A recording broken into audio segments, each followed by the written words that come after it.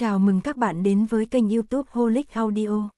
Mời các bạn theo dõi câu chuyện Khôn Ninh, Ninh An như mộng tác giả, thời kính, chương 108, trừ 2, 108 2, ngân phiếu 2.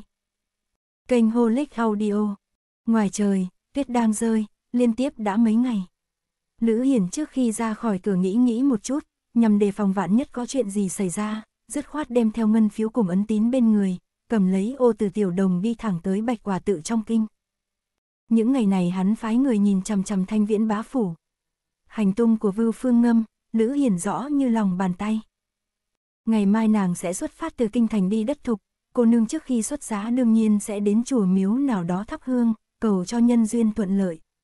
Vưu Phương Ngâm tuy giả thành hôn, nhưng việc nên làm bề ngoài nhất định sẽ làm đủ, không để ai nhìn ra sơ hở gì lần này nàng đi cùng một nha đầu trong phủ tới bạch quả tự. Lữ Hiền cũng không để nhân vật nhỏ như vậy vào mắt, tùy tiện sai một người giữ chân nha đầu kia lại nói chuyện ở bên ngoài, còn hắn không chút khách khí, gõ cửa hỏi, bên trong có phải là vưu phương ngâm vưu cô nương không? Tại hạ Lữ Chiếu ẩn, có một mối làm ăn muốn tìm cô nương bàn một chút.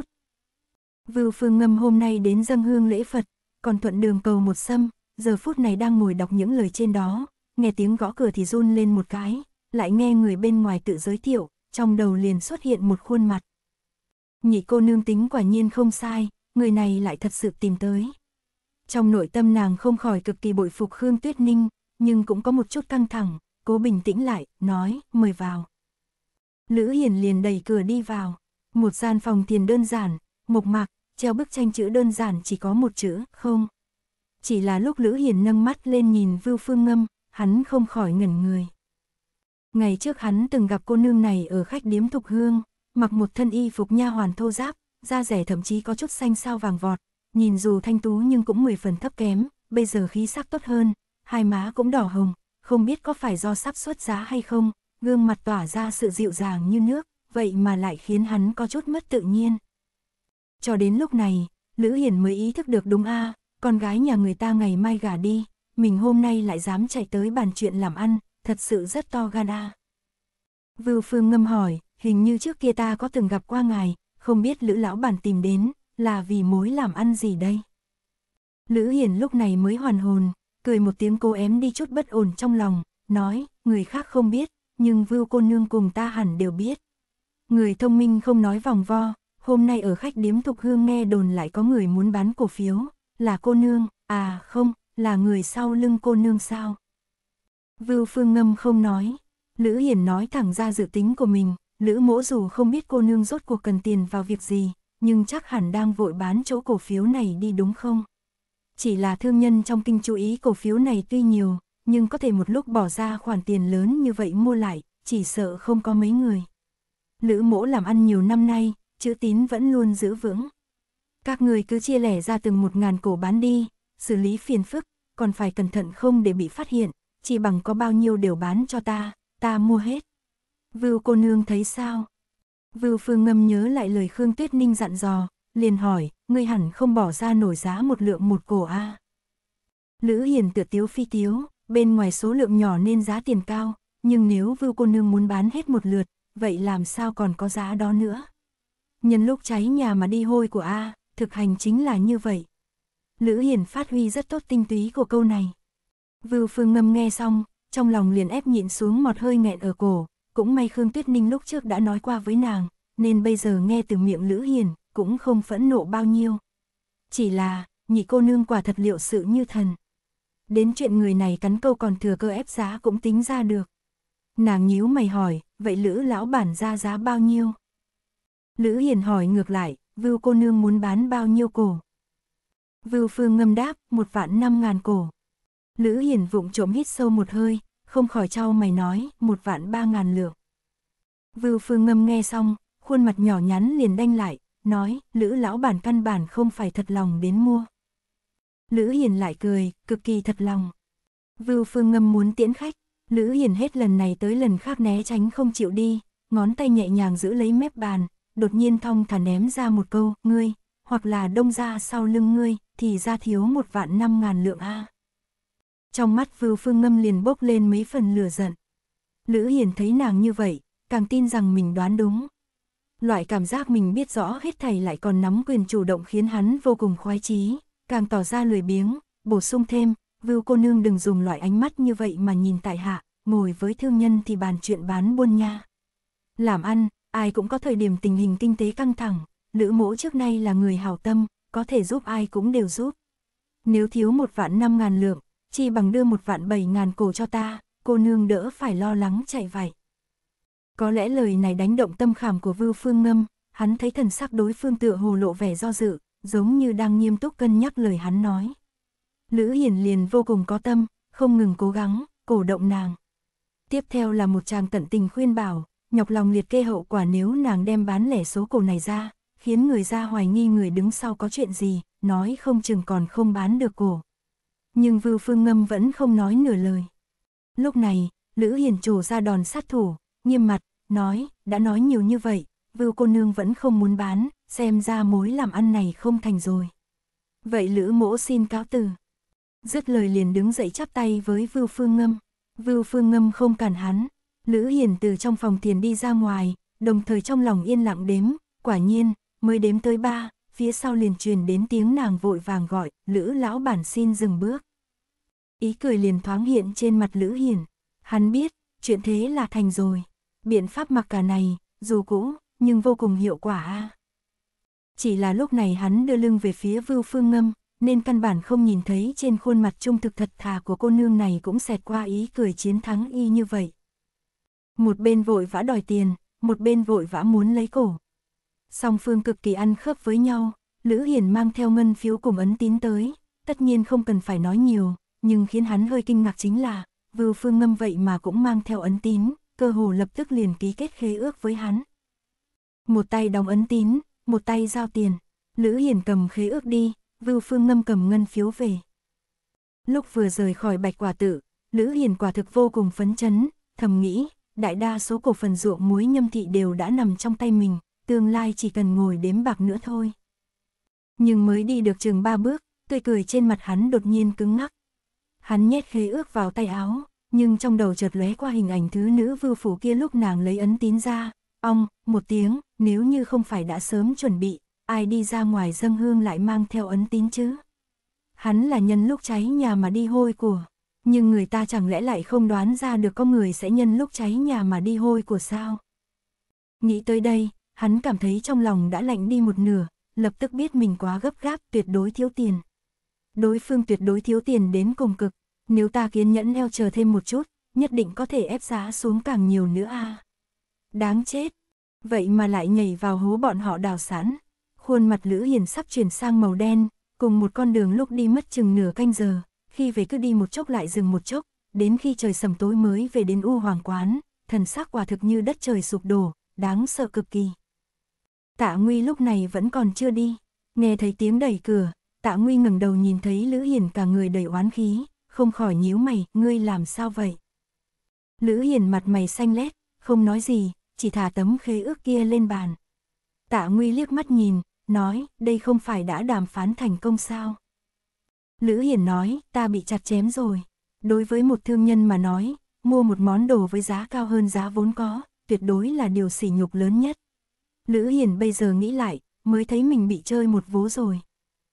Tạ Nguy nghe hắn nói, cũng hiểu được tại sao sắc mặt hắn lại kém đến vậy, người như Lữ Chiếu ẩn, chính là kiểu có thể ăn 10 phần, nếu chỉ ăn 9 phần sẽ cảm thấy mình lỗ to rõ ràng có thể ép xuống giá thấp hơn nhưng lại không làm được, vì thế mà oán hận. Có trời mới biết lúc này đầy trong đầu Lữ Hiền đều là gương mặt của Vưu Phương Ngâm, còn nhớ lại vụ đoạt mất tơ sống lần trước, càng nghĩ càng hận đến nghiến răng. Nửa ngày sau, hắn mới đè được oán khí xuống, sau đó mới chú ý tới tạ nguy trời đã tối vậy mà vẫn chưa về tạ phủ, vì vậy hỏi sao ngươi còn ở đây. Tạ nguy lại nhìn ra ngoài cửa sổ, thản nhiên nói, tối nay có việc, đang chờ tin tức trời đã tối đen như mực. Một vạn năm ngàn lượng ngân phiếu kia từ Vưu Phương Ngâm chuyển qua chỗ Khương Tuyết Ninh, lại đến tay Chu Dần Chi, cuối cùng giao cho hai tên áo đen che mặt. Chu Dần Chi chỉ dẫn theo vệ khê, đối phương cũng chỉ có hai người. Bọn họ hết lòng tuân thủ hứa hẹn, một tay giao tiền, một tay giao thư. Song phương đều rất cẩn thận, chuyện như vậy cực kỳ đặc thù, lại không dám để nhiều người biết, một bên xem thư không có vấn đề, một bên nhìn qua ngân phiếu không có vấn đề, không nói nhiều, ai nấy rời đi. Hai tên áo đen kia ẩn vào bóng đêm, đi xa dần. Đi nửa đường, nhìn hai bên không thấy người nào qua lại, liền tiến một ngõ nhỏ, lúc trở ra đã đổi lại y phục bình thường, bỏ khăn che mặt ra, đều là những gương mặt bình thường, không có gì đặc biệt. Công nghi thừa mất liên lạc, ngân phiếu cũng đã tới tay. Mấy người này, trong nội tâm vẫn nghĩ Dũng Nghị Hầu Phủ là hào môn trung liệt, đã từng cùng thiên giáo đồng mưu đại nghiệp, nên nay bán thư đi cũng coi như làm việc thiện. Nhưng hiện tại nếu cứ tiếp tục ở lại, chỉ sợ đêm dài lắm mộng, cho nên nhận được tiền liền dựa vào vài mối quan hệ của thiên giáo rời khỏi kinh thành, cao chạy xa bay. Ngay lúc bọn hắn giấu mớ ngân phiếu cách xù trong lòng, đi đến gần cửa thành, ra ám hiệu với người liên lạc, bất ngờ nghênh đón bọn hắn lại là màn tên bắn như mưa. Siêu, siêu siêu siêu. Trong bóng tối, mũi tên xẹt qua, dễ dàng ghim vào người bọn hắn, ngân phiếu cầm chưa ấm tay, căn bản còn chưa rõ chuyện gì xảy ra đã ngã gục xuống đất, trợn trừng mắt, tắt thở. Từ trên cổng thành, đao cầm đã mai phục từ lâu, nay đứng trong góc khuất, cất cung tên, lệnh cho những người khác xuống dưới tìm kiếm cẩn thận, xem thử có đồ tiên sinh muốn hay không.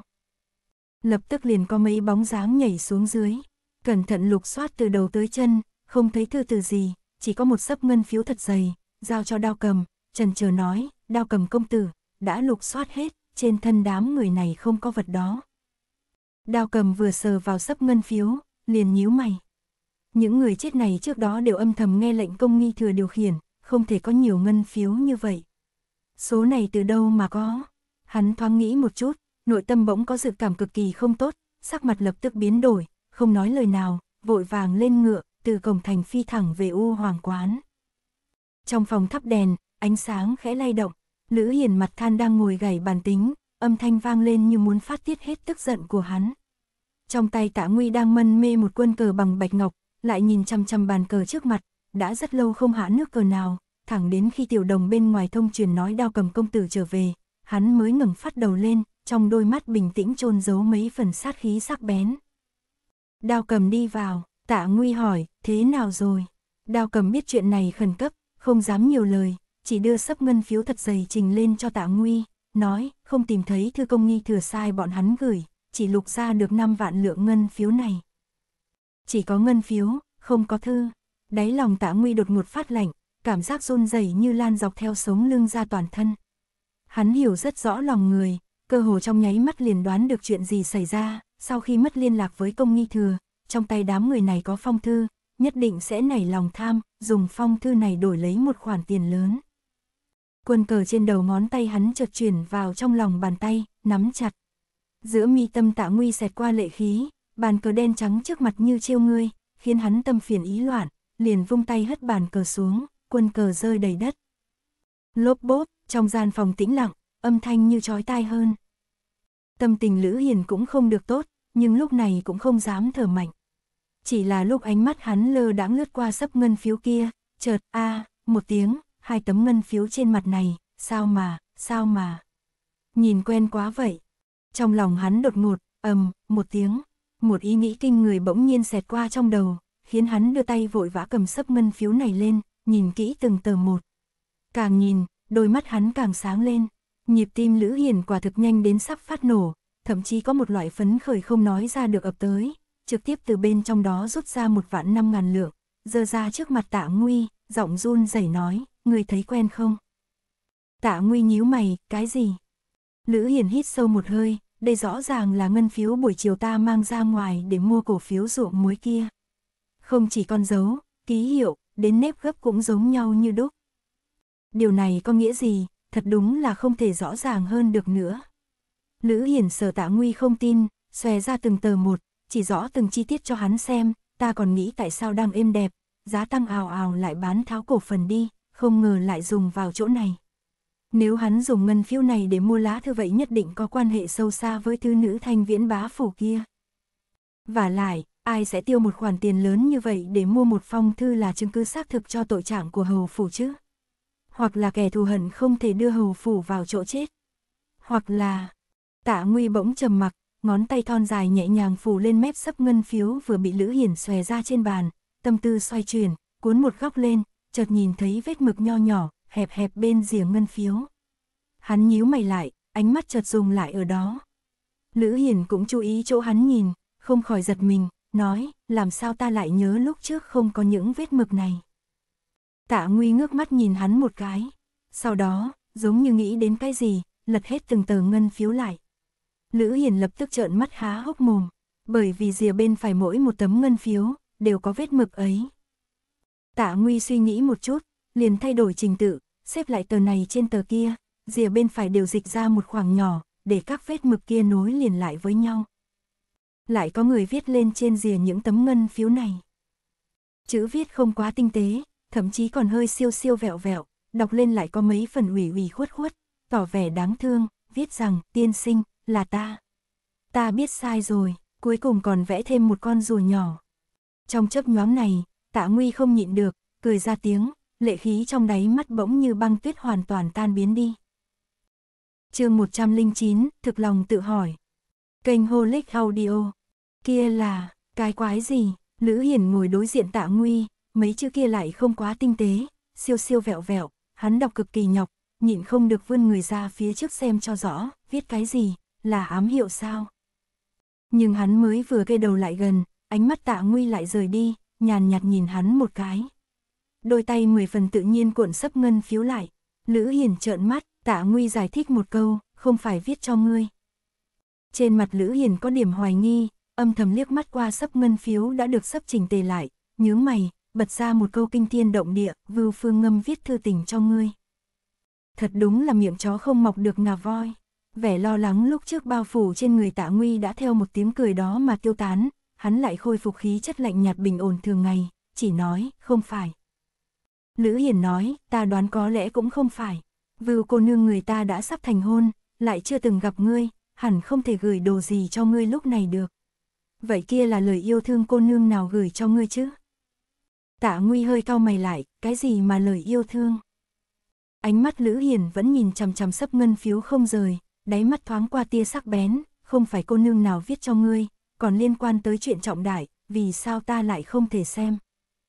Năm vạn ngân phiếu tìm thấy từ chỗ cọc ngầm thiên giáo trực tiếp nghe lệnh công nghi thừa, bên trong có một vạn năm ngàn lượng lúc trước hắn đưa cho Vưu Phương Ngâm, xếp lên còn dấu chữ viết. Từ đầu tới cuối đều liên quan đến an nguy của Dũng Nghị Hầu Phủ A. Sau khi tạ nguy nhìn mấy chữ này tự hồ liền yên tâm, giống như chuyện này đã khống chế được, không có gì đáng lo nữa vậy. Nhưng cảm giác của Lữ Hiền lại trái ngược với tạ nguy. Cũng không phải nghi kỵ từ chuyện lá thư, mà là trạng thái của tạ nguy trong nháy mắt đó mới khiến hắn bất an cùng cảnh giác. Đó không phải là trạng thái vốn có trước đây của tạ nguy. Tạ nguy thật đúng là bị hắn hỏi khó, chữ viết như vậy, ngữ khí như vậy, còn thêm con rùa nhỏ đó, dù không hề có lạc khoản phần ghi tên người viết hắn vẫn biết được người viết là ai, người nào đứng sau vưu phương ngâm, cho nên mới yên lòng. Vốn dĩ tạ nguy có thể cho Lữ Hiền xem thư và kể rõ mọi chuyện. Nhưng, hắn vậy mà lại không hề có ý định đó. Ngước mắt lên, đối diện với ánh mắt của Lữ Hiền, tạ nguy là người tâm tư nhanh nhạy, không đến mức không phát hiện được ngụ ý trong lời Lữ Hiền nói. Lữ Hiền hỏi, người biết, làm bằng hữu nhiều năm như vậy, điều ta bội phục nhất ở ngươi là gì không? Tạ Nguy không mở miệng, Lữ Hiền giật giật khóe môi, nhưng đáy mắt cũng không có bao nhiêu ý cười, không phải trí kế, cũng không phải sự nhẫn nại mà là không gần nữ sắc. Nhưng tạ nguy ngẫm lại mọi chuyện từ trước tới nay, cũng không cảm thấy mình có chỗ nào làm không thỏa đáng, Ninh Nhị là học trò hắn, dòng chữ hay hình vẽ này cũng chỉ là chuyện nhỏ thôi. Và lại, Ninh Nhị dù sao cũng không như những người khác. Hắn, thứ nhất không quá quan tâm cô nương này hư thực ra sao, thứ hai bất quá chỉ muốn ước thúc nàng dậy bảo nàng không để nàng đi sai đường, trừ những cái đó, hắn cũng không có tư tâm gì, càng không có ý nghĩ nảy sinh quan hệ nam nữ, chỉ coi nàng là vãn bối, là học trò. Thế nên hắn cảm thấy Lữ Hiền rảnh rỗi nghĩ lung tung. Tạ Nguy cầm sấp ngân phiếu trong tay, hoàn toàn không có ý định trả cho Lữ Hiền, nói, bất quá chỉ là một thủ đoạn đùa giỡn không đáng nói, đưa ra cũng chỉ làm trò hề thôi, người nghĩ nhiều rồi. Lữ Hiền nhịn không được trong lòng phán đoán xem lời này là thật hay giả. Nhưng thấy thần sắc tạ nguy không có gì bất thường, nhất thời lại chuyển sang hoài nghi bản thân có phải lòng giả tiểu nhân, nghi thần nghi quỷ không, nghĩ nhiều một chút cũng tốt mà. Xem ra phiền phức lần này đã giải quyết xong, chỉ là người nhìn ra được thủ đoạn này của ai hay trong ám hiệu kia có trình bày rõ rồi. Nếu là vế sau, tin tức chúng ta hành động, người đã nói cho ai khác biết sao ngón tay tạ nguy di di trên sấp ngân phiếu như có như không khựng lại một chút. Lữ Hiền nhìn thấy, lập tức cau mày. Hắn quen biết tạ nguy đã lâu, đến mức thấy thần sắc đối phương có biến đổi nhỏ xíu đã biết mình đánh trúng trọng, nhưng làm người thông minh nói chuyện nên biết dừng lại đúng lúc. Nhìn ra trời đêm không trăng sao bên ngoài, Lữ Hiển buông xuống một câu, ngươi nên về phủ rồi. Tạ Nguy đứng dậy cáo từ. Lúc đi, hắn cũng mang theo sấp ngân phiếu một vạn năm ngàn lượng kia. Lữ hiền không cản, chỉ thinh lặng tiễn hắn ra cửa. Nhưng mà khi lên xe ngựa hồi phủ, tạ Nguy ngồi tựa vào thành xe, nhìn chằm chằm bút tích trên sấp ngân phiếu trong tay, suy nghĩ hồi lâu. Tới cửa phủ, hắn xuống xe, đao cầm nhìn thấy thần sắc hắn có chút không đúng. Tạ Nguy dương mắt, không biết nghĩ đến cái gì, bỗng nở nụ cười, nói, ngày mai đi Khương Phủ, gọi Ninh Nhị tới học đàn. Dù không đi Phụng Thần Điện, nhưng việc học không thể gián đoạn được. Chu Dần Chi cảm thấy bất ngờ, sợ hãi trong lòng. Buổi chiều, Khương Tuyết Ninh giao đủ số tiền kia cho hắn. Một khoản tiền lớn như vậy, dù có cho ai cũng không thể cam tâm mà đưa được, huống chi đám người này còn là cọc ngầm của thiên giáo, dù không chặn được số tiền kia, chỉ cần tóm bọn họ giao cho quan phủ cũng đã lập đại công rồi. Cho nên dù để lộ tin tức cho phi tạ nguy, nàng cũng sắp xếp một đường lui khác. Trạng vạng tối mới giao dịch với đối phương là nàng cố ý. Mai phục bên trong thành quá dễ gây chú ý, cho nên nàng mới để Chu Dần Chi tìm một số cẩm y vệ thân tín, mai phục bên ngoài cửa thành, xem xem nếu bọn họ ra được khỏi thành thì chặn giết, gặp may còn có thể cướp lại 5 vạn lượng kia. Nhưng đợi suốt một đêm, không ai ra khỏi thành. Sáng sớm hôm sau, Chu Dần Chi đến nha môn, liền nghe đồng liêu nhắc tới, đêm qua thủ vệ cửa thành có bắn giết mấy tên thiên giáo loạn đảng, có vẻ bọn chúng mua chuộc được thủ vệ cổng thành nào đó, muốn rời kinh, nhưng không ngờ thủ vệ này hai mặt, chỉ chờ bọn họ tự chui đầu vào lưới. Mấy tên thiên giáo loạn đảng kia, Chu Dần Chi thực sự quen biết. Nhân sĩ giang hồ tuy nghĩa khí nhưng rất khôn khéo, có thể thông qua dấu vết để lại biết đồng bọn mình bị bắt, sau đó cầm nửa phong thư còn lại ra đe dọa, moi được một đống bạc, sao có thể vì không mua được thủ vệ cổng thành mà thua được. Trừ phi liên hệ cùng bọn hắn vốn là người bọn hắn tín nhiệm. Nhưng giữa chừng lại xảy ra biến cố, đối phương lật mặt, lừa giết bọn hắn. Nội tình nhất định còn phức tạp hơn, nhưng Chu Dần Chi không biết rõ nội bộ thiên giáo nên không đoán ra hết được. Tuy vậy, từ tin tức này hắn có thể cảm giác được, phía sau câu chuyện, ngoại trừ hắn cùng Khương Tuyết Ninh, tựa hồ còn một thế lực khác, càng thâm sâu khó lường hơn. Không thể không nói, một khắc này, hắn chợt liên tưởng đến chuyện lúc trước Khương Tuyết Ninh lệnh cho hắn tiết lộ tin tức, không lẽ có liên quan đến vị tả thiếu sư hắn chưa từng quen biết nhưng cực kỳ nổi danh kia sao? Chu dần chi lại một lần nữa cảm giác được, trong kinh thành đầy mưu ma trước quỷ này, hắn có tận lực cũng chỉ như giấy lên một ngọn sóng nho nhỏ trên biển khơi vô bờ mà thôi. Ra khỏi giếng, mới thấy được được đất trời bao la. Từ lúc đứng vững trên vị trí thiên hộ cầm y vệ, hắn kỳ thực đã bắt đầu cân nhắc, sau khi Dũng Nghị Hầu phủ sụp đổ, một tiểu cô nương không quan trọng như Khương Tuyết Ninh còn có thể mang tới cho mình cái gì. Nhưng lần này, hắn phát hiện đến tiểu cô nương này, hắn còn không nhìn rõ được sâu cạn. Lần này Chu Dần Chi đi tới Khương Phủ đã không còn dáng vẻ cao cao tại thượng trước mặt thuộc hạ, giống như lúc mới tới Kinh Thành còn làm việc ở Khương Phủ, khiêm tốn mà ẩn nhẫn. Khương Tuyết Ninh cả đêm qua không thấy tin tức từ Chu Dần Chi, đến sáng nay vẫn còn lo lắng. Không ngờ nàng đang nghĩ ngợi, hắn lại tới. Nàng liền hỏi, thế nào rồi? Chu Dần Chi vừa kể lại tình hình tối qua cùng những gì nghe được ở nha môn sáng nay, vừa quan sát thần sắc của Khương Tuyết Ninh. Đặc biệt ở chỗ, Khương Tuyết Ninh tự hồ không quá ngưng trọng như hắn nghĩ, giống như mọi chuyện đều trong dự liệu vậy, nhẹ nhàng thở ra một hơi yên lòng, nhưng sau đó lại trao mày, thoáng chút sầu lo. Chu Dần Chi thử thăm dò hỏi, có cần âm thầm tra xét một chút không? Khương Tuyết Ninh viện trường kỳ bằng gỗ lim sơn chủ bên cạnh, chậm rãi ngồi xuống, lập tức lắc đầu, nói, đừng tra. Loại thời điểm này, làm nhiều, sai càng nhiều. Nàng nói, ta đã biết rồi, ngươi trở về đi, về sau đừng đụng tới chuyện này nữa. Chu dần chi lại cảm thấy hôm nay nàng nói chuyện so với ngày trước càng thêm khó lường, đến mức hắn có chút trần trừ không dám quyết định. Khương Tuyết Ninh hỏi, còn có chuyện gì sao? Chu dần chi lúc này mới tập trung tinh thần, mặc dù muốn hỏi phía sau chuyện này đến cùng có ẩn khuất gì, nhưng nhớ lại nàng ngày đó thản nhiên vạch trần ý đồ khi chen chân vào dũng nghị hầu phủ của mình, trong thâm tâm chợt có chút kiêng kỵ tiểu cô nương trước mặt, cũng sợ khiến nàng bất mãn, nên mới đáp, không có gì, chỉ là có chút ngoài ý muốn. Vậy hạ quan về trước, có việc, nhị cô nương cứ phái người tới tìm ta là được. Nếu ta không ở nha môn, tìm vệ khê cũng được.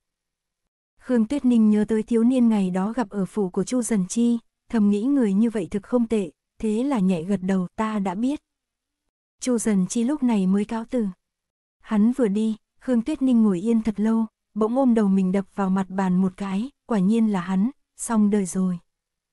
Đây chính là năm vạn lượng đó, bán đi nhiều đồ yến lâm cho nàng như vậy, dồn tiền của mình, lại bán tháo cổ phần ruộng muối nhâm thị, mới vất vả gom đủ tiền. Bỗng nhiên bị đám người thiên giáo uy hiếp đòi tiền, cho dù đã đoán trước, nhưng trong lòng tóm lại vẫn có chút bất an. Huống chi nàng cũng lo đám người này đen ăn đen, cho nên không thể không chuẩn bị ba con đường. Thứ nhất, phía nàng thành thành thật thật đưa tiền, nếu có thể đổi được thư thật, tất nhiên là tốt nhất, trên thực tế đúng là có hiệu quả. Đối phương có phần giữ chữ tín, cũng có lẽ cảm thấy bọn hắn chịu vì Dũng Nghị Hầu phủ bôn ba chạy vậy chuẩn bị tiền, nên cho rằng là hạng người trung nghĩa thủ tín, mới đưa lá thư thật cho phía nàng. Thứ hai, sai Chu Dần chi mai phục ngoài cổng thành, để phòng bất chắc, dù chặn được thư hay lấy lại được tiền đều ổn. Còn đường này thì không chắc sẽ ổn, đường này có liên quan mật thiết tới đường thứ ba. Thứ ba, nàng còn cho người âm thầm lộ tin tức ra, để phía tạ nguy phát hiện được mà chen chân vào, có thể nói là thêm một tầng bảo đảm cho bố cục này. Bởi vì nàng không dám chắc hai con đường trước của mình có thể không chút sơ suất. Liên quan đến tổn vong của Dũng Nghị Hầu Phủ, tổn thất tiền tài, bại lộ bản thân đều là chuyện nhỏ không đáng nhắc tới. Khương Tuyết Ninh không được phép thất bại, cho nên nàng mới cực một ván cực tạ nguy thế lực cường đại đến nỗi khiến người khiếp sợ mà kiếp trước nàng biết, chỉ cần biết tin nhất định sẽ ra tay khống chế toàn cục, cũng cực tầm quan trọng của Dũng Nghị Hầu Phủ trong lòng hắn, hoặc có thể nói, là cược. Suy đoán không có chút chứng cứ nào của Vưu Phương Ngâm kiếp trước, là thật. Nhưng, Khương Tuyết Ninh không biết nên nói là may mắn hay bất hạnh, suy đoán này, thế mà lại là thật. Thử hỏi, tả cư an sinh ra tại Kim Lăng lớn lên ở Giang Nam, chưa từng có thâm giao với Dũng Nghị Hầu Phủ, chỉ dạy Yến Lâm khi chủ trì nhật giảng tại Văn Uyên Các không bao lâu, không nhận lợi lộc, không có ân oán tương báo, chỉ nghe được một tin đồn đã mạo hiểm bày bố cục ở ngay cổng thành, bất chấp thiệt hại. Hắn thật sự không có chút liên quan nào tới Hầu Phủ sao? Kiếp trước, Khương Tuyết Ninh đã biết được một bí mật. Đó chính là, tiêu định phi về sau trở lại tiêu thị, cả lơ phất phơ chọc toàn bộ tiêu thị từ trên xuống dưới nổi trận lôi đình, căn bản không phải định phi thế tử thật sự. Hồi ấy người này uống say, triều chính trên dưới không một ai hoài nghi người này có phải thế tử thật hay không, dù sao chuyện năm đó hắn đều biết cả, chỉ thầm tiếc nuối vì sao khi còn bé giỏi giang sáng láng như vậy, lớn lên lại khiến người chỉ trích đến độ ấy. Nàng cũng rất tò mò, thế là, liền thừa dịp đó, rất có tâm cơ hỏi hắn về thời gian lưu lạc bên ngoài ra sao. Kết quả tay ăn chơi này lung la lung lay, thừa dịp trong đình không ai trông thấy, cố ý kề sát lại gần nàng, bờ môi như muốn dán vào vành tai nàng, nói, nương nương cho rằng ta uống say, sẽ nói ra, lời thật lòng, sao? Khương Tuyết Ninh giật mình, liền muốn lui lại, không ngờ, người này lại giữ chặt tay áo nàng, bày ra dáng vẻ tươi cười có chút tà khí, ánh mắt sáng rực nhìn chằm chằm nàng, nếu nương nương chịu ngủ cùng ta một đêm, ta sẽ nói cho người, ta thực ra không phải, định phi thế tử kia. Hắn nói hắn không phải định phi thế tử, chuyện này khiến nàng kinh ngạc đến đơ người, nhưng mà cử chỉ người này lớn mật, còn khiến Khương Tuyết Ninh ngoài ý muốn hơn. Nàng không ngờ đối phương trong cung cũng dám làm càn như thế, lập tức lạnh mặt, hất tay hắn ra, lùi lại. Chân tiêu định phi lảo đảo, đến khi đứng vững lại, ý cười bên môi không những không giảm lại còn sâu hơn, túm lấy tay cung trang hoa lệ của nàng, đưa lên mũi nhẹ người qua. Trong ánh mắt hắn là càn rỡ đến nỗi khiến người căm tức. Ánh mắt Khương Tuyết Ninh lạnh xuống, người muốn chết. Tiêu định phi lại nhíu mày, hoàn toàn không để trong lòng, lại còn kéo ngón tay nàng lại, in xuống một dấu hôn, cười khẽ ta thấy nương nương có vẻ còn chưa biết tình cảnh mình hiện tại, suốt ngày điều tra những chuyện mình không nên biết. Nếu người kia biết ngươi hôm nay nghe thấy ta nói chuyện gì, chỉ sợ dù hắn không muốn giết ngươi, trước khi tính sổ ta, đã tiễn nương nương đi trước rồi.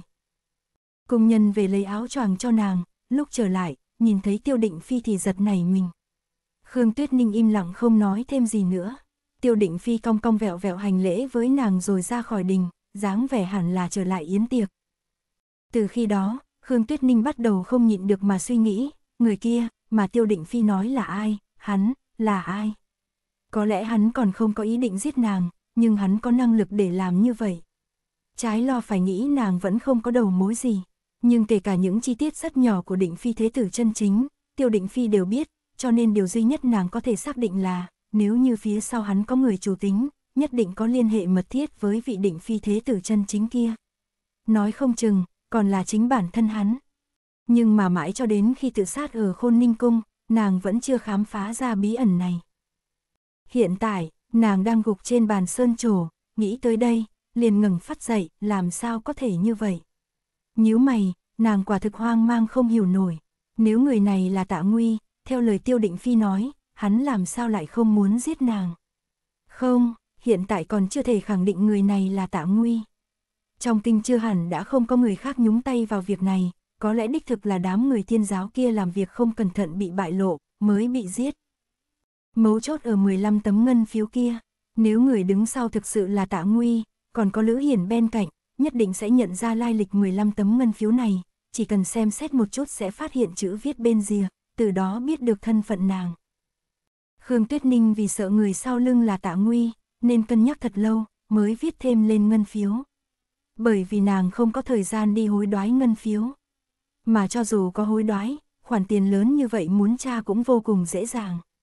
Nếu người sau lưng không phải tạ nguy, đương nhiên không có vấn đề gì, người khác dù phát hiện cũng không hiểu hàm ý, coi như nàng vẽ thêm một nét thừa, năm vạn lượng bạc cũng trôi theo dòng nước, nhưng nếu đích thực là tạ nguy, trông thấy ngân phiếu mà không có thư, nhất định sẽ thăm dò từ ngân phiếu.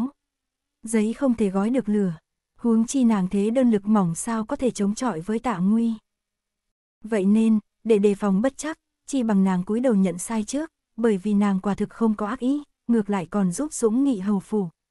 Nếu như để tạ nguy điều tra ra mới nhận, có thể đã muộn, còn khiến hắn ngờ vực cùng kiêng kỵ. Và lại, nàng còn trông cậy vào nếu là tạ nguy, năm vạn lượng kia không chừng còn có thể lấy lại được. Cho nên, lúc này 15 tấm ngân phiếu đã tới tay ai rồi. Mi mắt Khương Tuyết Ninh không hiểu sao lại nhảy dựng lên. Đường Nhi mới ra ngoài phòng thu chi lĩnh tiền tháng trở về, trên mặt lại có mấy phần cẩn thận, nói với Khương Tuyết Ninh, nhị cô nương, tiền viện có người tới, nói là do tạ thiếu sư sai đi, thỉnh ngài qua học đàn, dù thế nào, luyện tập cũng không thể gián đoạn được.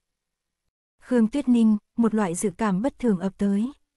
Nàng day day mí mắt mình, được, ngày khác ta sẽ đi. Đường Nhi nơm nớp lo sợ, người kia nói, không thể đổi ngày, tạ thiếu sư bận bịu mời ngài đến trong hôm nay. Khương Tuyết Ninh, vội như vậy, là dạy nàng đàn xong để đi đầu thai cho kịp sao. Vậy 15 tấm ngân phiếu kia quả nhiên rơi vào tay họ tạ rồi. chương 110, đồ lừa gạt, thiếu tiền thì chết sao. Kênh Holic Audio, tâm không cam, tình không nguyện, Khương Tuyết Ninh rốt cuộc vẫn phải chuẩn bị, ôm đàn của mình đi tới tạ phủ. Chỉ là nàng mới tới một lần cách đây không quá xa cũng không quá gần, hạ nhân trong phủ lại dường như vẫn còn nhớ rõ. Cứ thế, một người dẫn nàng đi thẳng tới trước cầm đường. Khóm trúc mới trồng bên góc viện, ngày cuối đông vẫn xanh thẫm. Mặt hồ gần đó còn phủ một tầng băng mỏng chưa tan hết, ngẫu nhiên có thể thấy được mấy con cá nhỏ bơi lội dưới những cuống sen đã ô tàn. Cả viện toát ra hơi thở của miền sông nước Giang Nam, quả thực tinh xảo hiếm thấy ở kinh thành. Mà giờ khắc này Khương Tuyết Ninh lại không có lòng dạ nào thưởng thức, trong đầu đều là ánh mắt soi xét của tạ nguy bay qua bay lại, mãi cho đến khi hạ nhân nói với nàng, đến rồi. Nàng mới tỉnh lại, vội nói cảm ơn. Tạ nguy ở trong trước cầm đường, dáng vẻ vô cùng thong dong không chút nóng vội, bưng chén trà nhỏ đứng bên cửa sổ đã được một lúc lâu. Khương Tuyết Ninh đứng ngoài cửa, lề mà lề mề, trong lòng vạn phần không muốn bước vào. Tạ Nguy đặt nhẹ chén trà nhỏ kia trên bệ cửa sổ, cũng không quay đầu lại nhìn nàng, nói, chuyện lớn như vậy cũng dám xía vào, nay gọi ngươi tới học đàn một chút, gan lại biến đâu mất. Ngươi không vào là chờ ta ra thỉnh mới chịu vào sao. Sắc mặt Khương Tuyết Ninh thoáng tái đi, rốt cục vẫn cắn răng, cẩn thận từng ly từng tí bước qua ngưỡng cửa, đi vào, nghiêm cẩn thi lễ với tạ Nguy, học trò chào tiên sinh. Tạ Nguy lúc này mới quay lại nhìn nàng, tiểu cô nương ôm cây đàn, đến đầu cũng không dám nhấc lên, cứ cúi sát xuống, mắt như muốn dính vào mũi chân, chỉ dơ cho hắn cái đỉnh đầu, dáng vẻ hoàn toàn là một khuê tú nhát gan sợ phiền phức. Đáng tiếc tính tình nàng vẫn không quá nghe lời. Hắn hôm nay ở trong nhà, mặc trường bào xanh biết rộng rãi, tay chỉ về phía bàn để đàn còn trống bên cạnh, ra hiệu nàng đặt đàn xuống trước đã, sau đó mới nhàn nhạt hỏi, biết sai rồi sao? Vừa nghe thấy lời này, Khương Tuyết Ninh liền hiểu ra. Đây không phải nói tới câu lúc trước nàng viết trên ngân phiếu sao. Họ tả quả nhiên đã cầm tiền của nàng đi rồi. Khương Tuyết Ninh thầm than một tiếng, nhưng đặt đàn xuống cũng không dám ngồi, chỉ quy củ đứng bên cạnh, đàng hoàng nói, biết sai rồi. Thái độ nhận sai nhất định phải thành khẩn, bất luận thế nào cũng không được rào biện. Tạ Nguy nói nàng sai nàng thì chính là sai. Nhưng không ngờ, câu tiếp theo Tạ Nguy nói lại là a sai ở chỗ nào.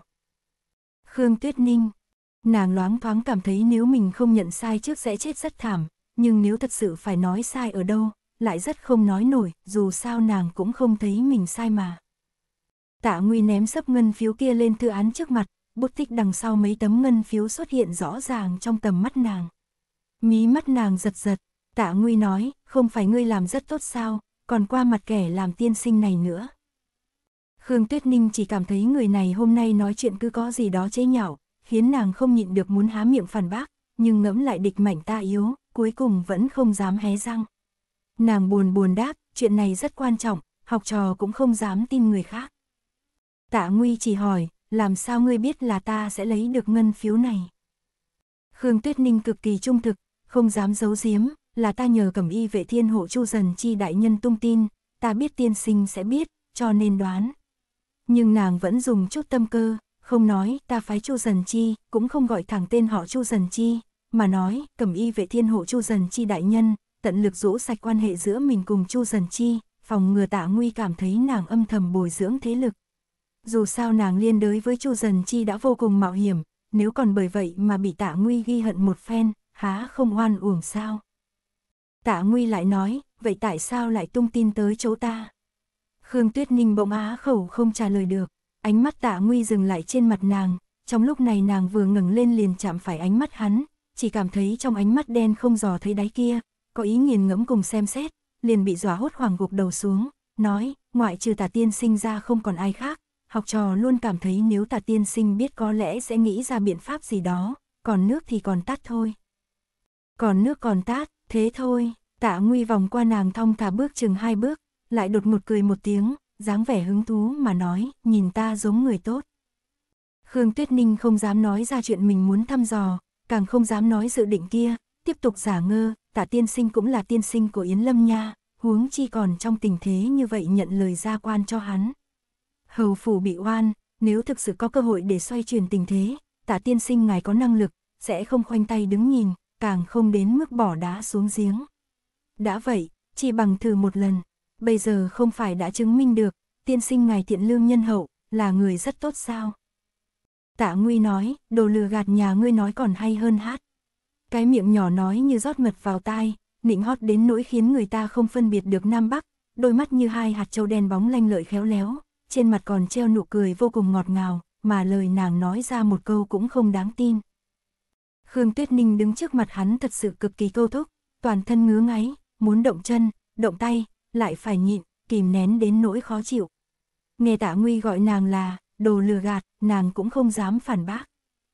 Nàng còn đang nhếch môi, khổ sở suy nghĩ nên làm thế nào mới thoát được khốn cảnh này, lại nghe tạ nguy nói, chỉ sợ ngươi cũng không thể khẳng định là ta, nhưng nếu như là ta, lại sợ phiền phức sau khi bị ta tra ra.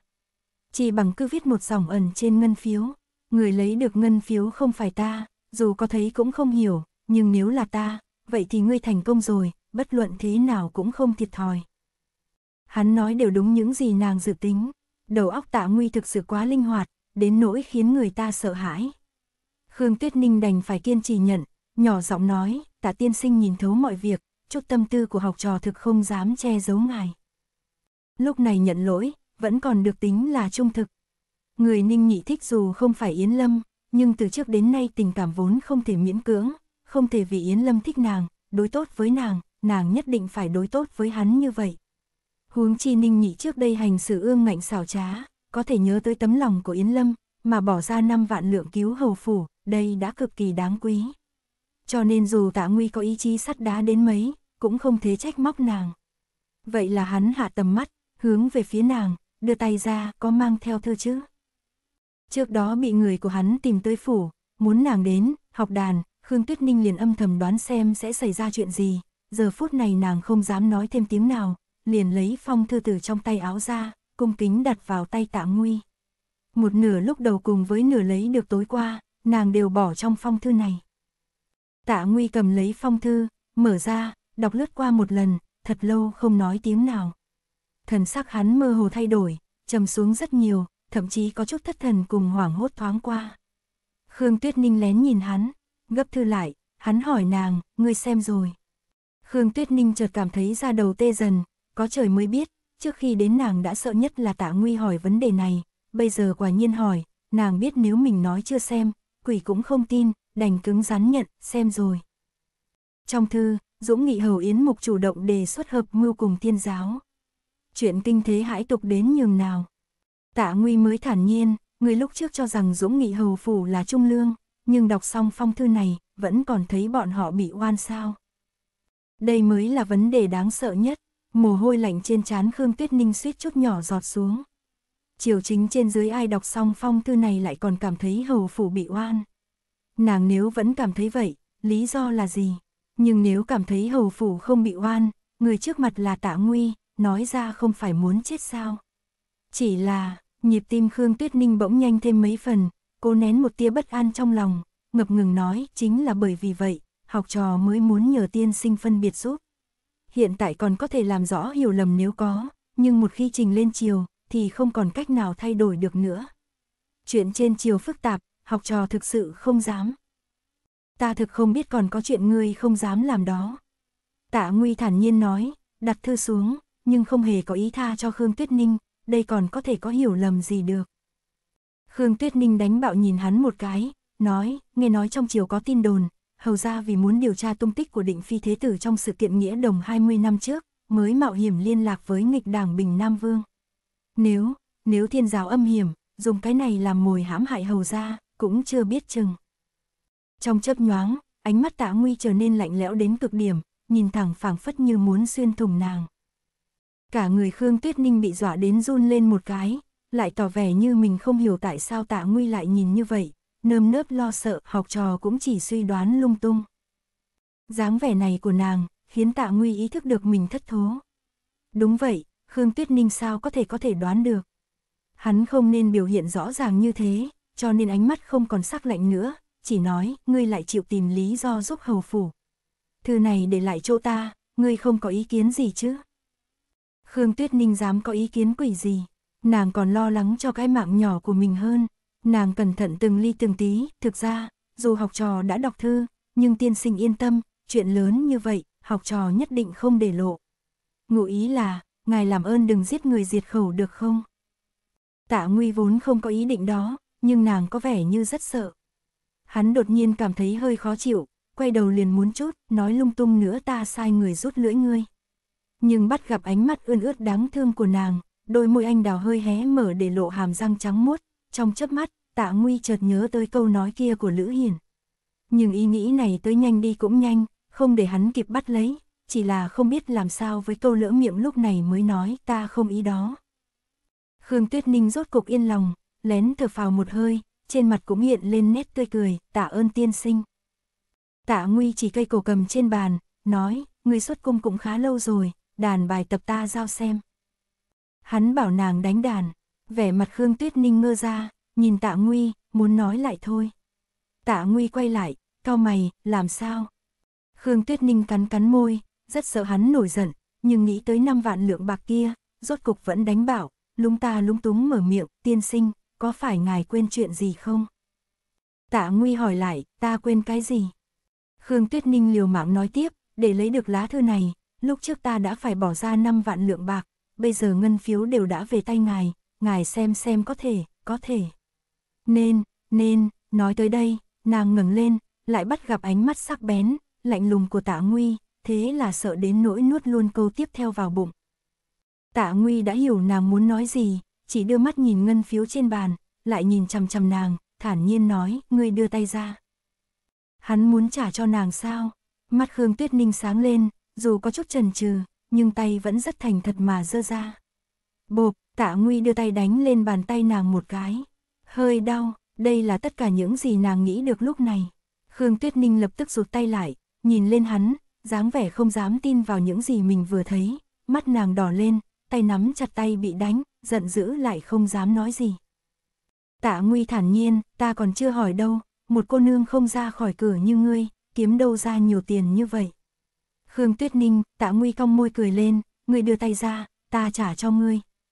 Khương Tuyết Ninh ngậm miệng giấu hai tay sau lưng, không dám đưa ra nữa, sợ Tạ Nguy hỏi tiền từ đâu ra, nàng không dám kể hết ngọn nguồn, có giải thích cũng không rõ được, nên vội vàng cười nịnh nọt, không cần, không cần đâu, khoản đó học trò dùng để hiếu kính tiên sinh. Lông mày Tạ Nguy hơi nhướng lên một cái, lại bày ra dáng vẻ vô cùng chính trực, học phí này quá cao, tiên sinh ta cũng không dám nhận. Yên tâm đi, ta sẽ trả lại cho ngươi, chỉ là trước đó phải xem ngươi học hành thế nào rồi. Nói xong hắn chỉ về phía cái bàn để đàn kia. Khương Tuyết Ninh bỗng nhiên rất muốn chửi tục một câu. Trong lòng nàng rất uất ức, nhưng không dám nhìn mặt tạ nguy, cũng không dám biểu đạt, không nói lời nào ngồi xuống trước bàn đàn, ngẫm lại một lát liền đàn khúc Thải Vân truy nguyệt mà tạ nguy dậy lúc trước. Nhưng đúng là đã qua hơn một tháng rồi, khiến tay nàng có hơi lạ lẫm. Mặc dù nàng vẫn còn nhớ rõ chỉ pháp, nhưng lúc đánh đàn vẫn hơi cứng tay, đàn sai liên tiếp rất nhiều lỗi. Tạ Nguy đứng trước bệ cửa sổ kia uống trà, nàng cứ đàn sai một âm, hắn lại quay đầu nhìn nàng một lần. Hắn càng nhìn, Khương Tuyết Ninh càng căng thẳng.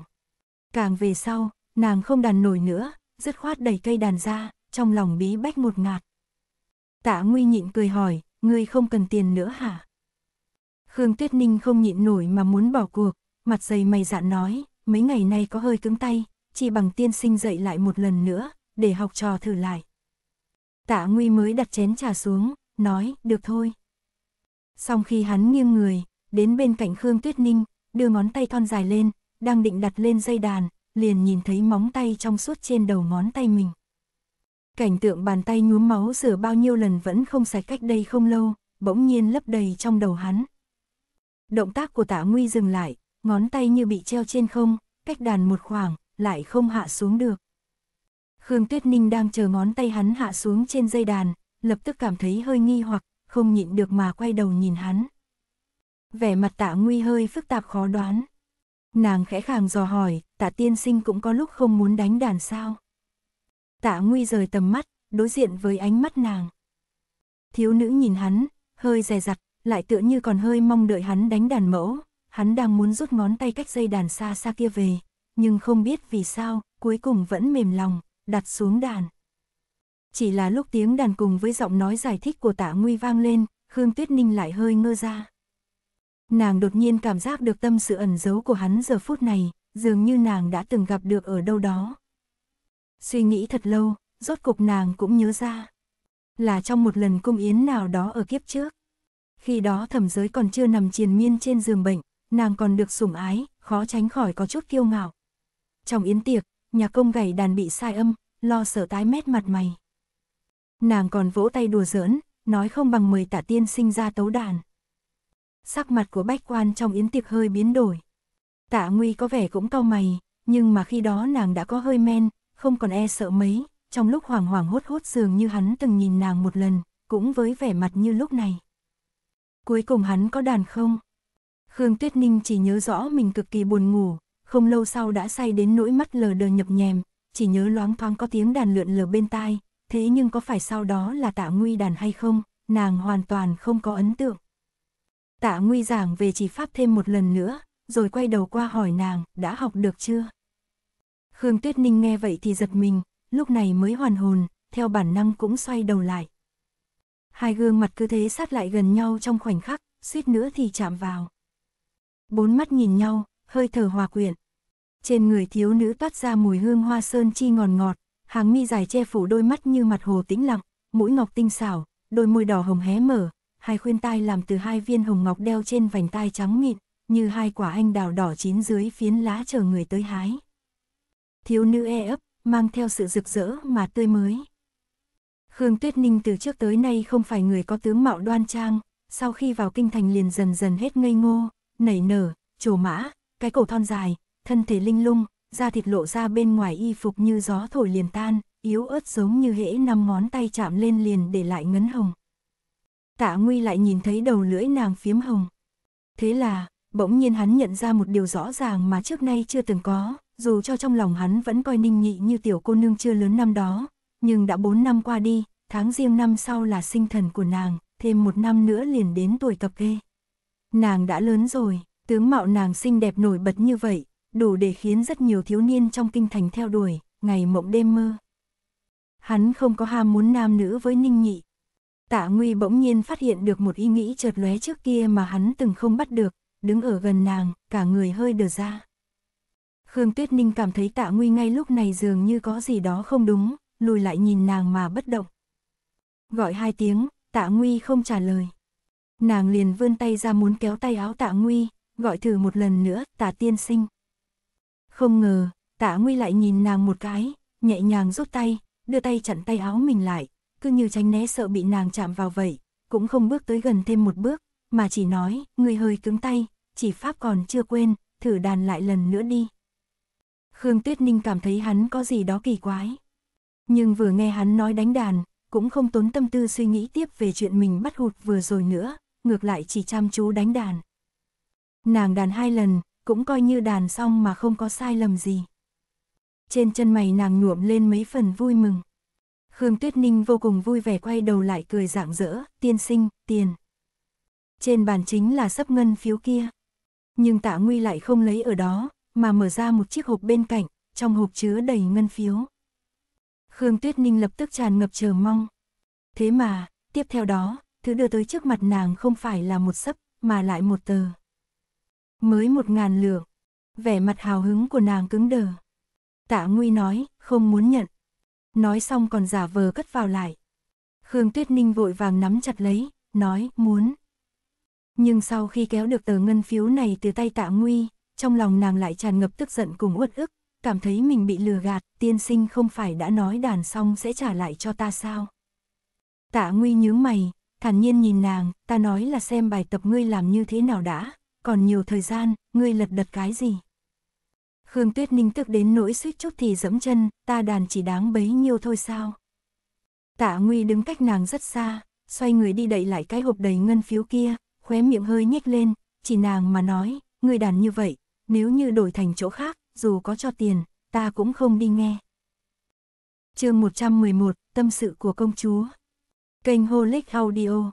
Tạ Nguy vốn không phải thực sự vì muốn kiểm tra bài của nàng mới gọi nàng tới, đầu tiên hỏi chuyện ngân phiếu, kiểm tra xem nàng đàn thế nào rồi, sau đó kiếm thư bên ngoài liền vội vội vàng vàng đến bẩm báo, tam ti hội thẩm, thánh thượng thỉnh ngài qua đó. Tạ Nguy liền ngừng lại một chút, nói ta đi ngay đây bây giờ còn có án nào khác cần tam ti hội thẩm nữa. Khương Tuyết Ninh liền biết được, trên mặt có thêm chút hoảng hốt cùng lo lắng, đến chuyện tranh luận lại với tạ nguy về năm vạn lượng kia cũng không có tinh thần mà nói nữa. Tạ nguy đi nha môn hình bộ, Khương Tuyết Ninh thì về phủ. Trên đường đi, cả biểu cảm cũng có chút suy sụp. Nhưng nàng không ngờ, xe ngựa vừa mới dừng lại ở trước cửa phủ, vừa sốc màn xe ló đầu ra, liền nghe thấy một tiếng cười từ bên ngoài, ta còn đang nói hôm nay không khéo, cố ý chuồn ra khỏi cung tìm ngươi, lại đúng lúc ngươi không ở phủ. Ai ngờ mới chưa bao lâu ngươi đã về tới đây rồi. Giọng nói trong trẻo, nghe rất êm tai này, Khương Tuyết Ninh rất quen thuộc. Dường như trong nháy mắt nghe thấy câu nói này, ánh mắt nàng liền sáng lên, nhìn sang hướng giọng nói truyền tới, lập tức kinh ngạc kêu lên, trưởng công chúa điện hạ.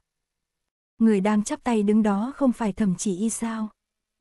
Hôm nay nàng ấy mặc kỵ trang màu xanh như nước, eo nhỏ và cổ tay đều thắt gọn lại, đứng trước một con ngựa tốt xinh đẹp màu đỏ thẫm, tóc nàng dài đen nhánh được buộc lại thành bím tóc, ngón tay thon dài trắng nõn đang nắm một cây roi ngựa. Nụ cười trên mặt nàng ấy rạng rỡ như nắng.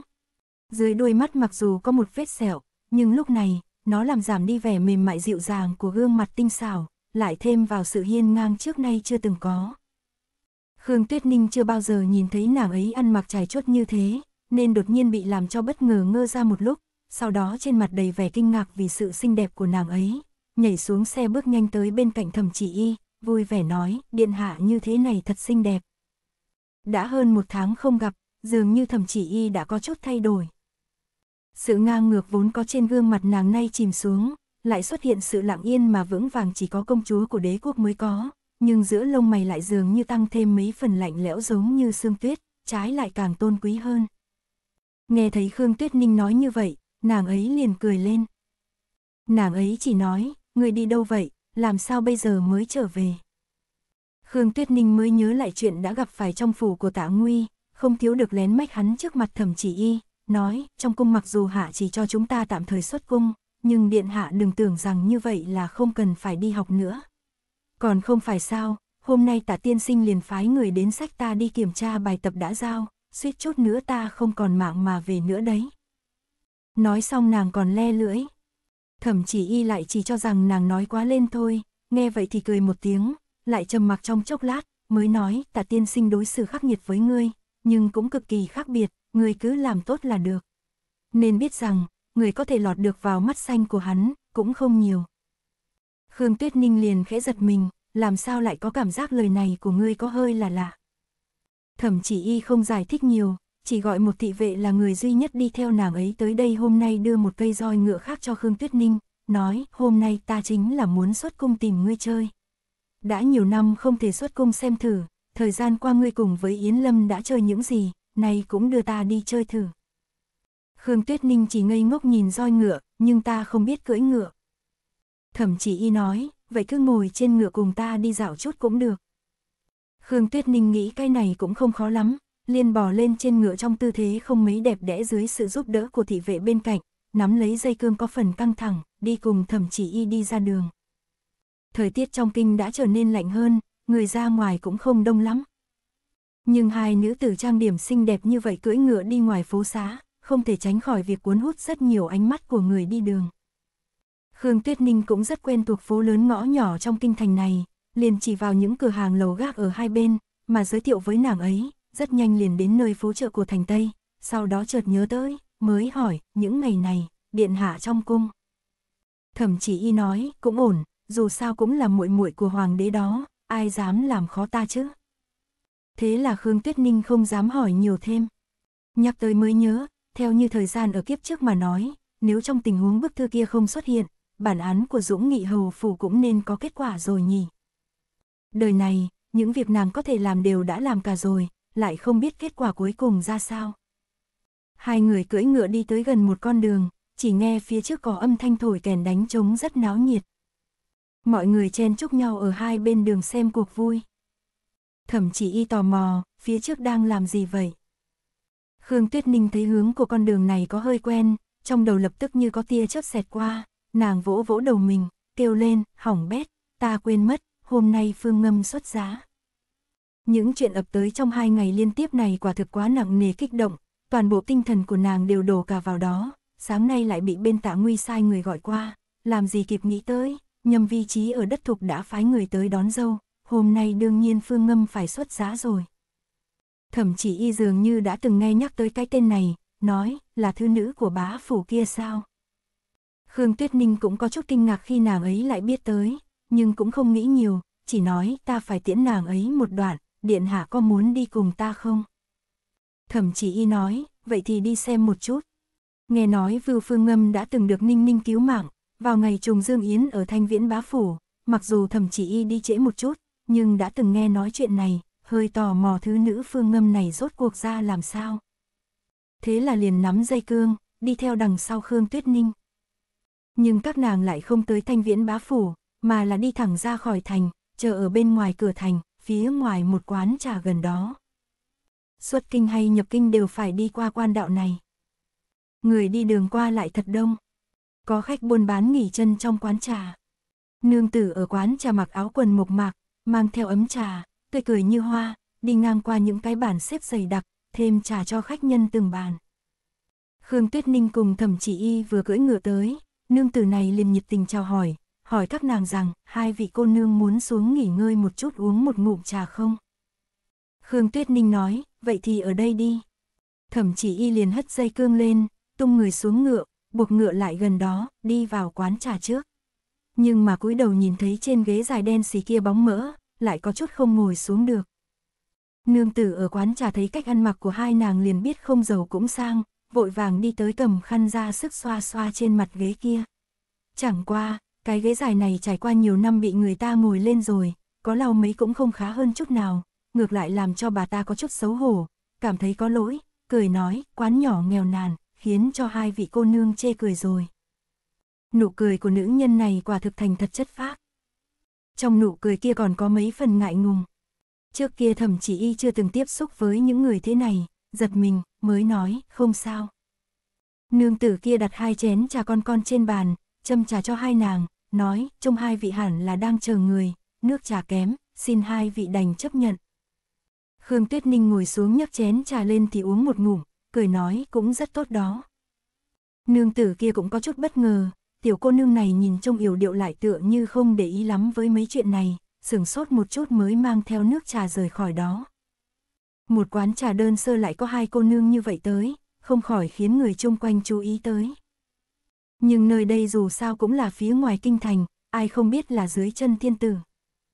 Nghĩ cũng biết hai vị cô nương kia có thân phận không đơn giản, chỉ riêng hai con ngựa buộc ở ngoài kia đã không tầm thường rồi, cũng không ai dám lại bắt chuyện, càng không người nào dám suy nghĩ xấu xa gì.